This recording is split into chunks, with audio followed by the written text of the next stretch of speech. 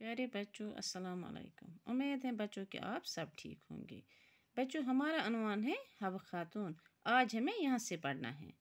जून, ये इशार लेकर पांपोर के सूफी बुज़ुर्ग खवाजा मसूद के पास जाती थी। जून हसे यानी बचो जून कुस हब खातून हब खातून उस ना, जून। यस पन उम शार हेत पांपरकिस अकिस सूफी बुजुर्गस नश गसान यस खवाजा मसूद उस नाव। इन्होंने जून को हब खातून नाम दिया और वो इसी नाम से मशहूर हुई। उस जून लकब दुत हब खातून तो सस इमी नाव मशहूर। एक दिन उस वक़्त के हुक्मरान यूसुफ शाह चक पापोर के इलाके की सैर करने को निकले।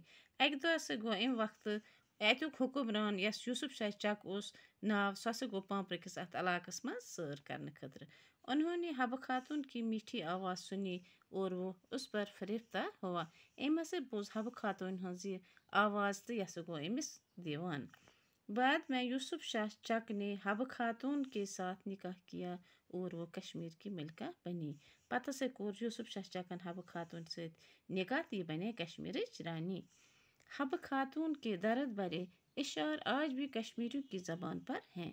हब खातून दुखी शार हसा आज तशर जबान पे ख्याल किया जाता है कि हब खातून पांदर यठन में मस्जिद हब खातून के करीब दफन हैं। वन दपान यह पापरस नाव पांदर यठन तती मस्जिद अकिस नज़दीक दफन। बाकी वसलम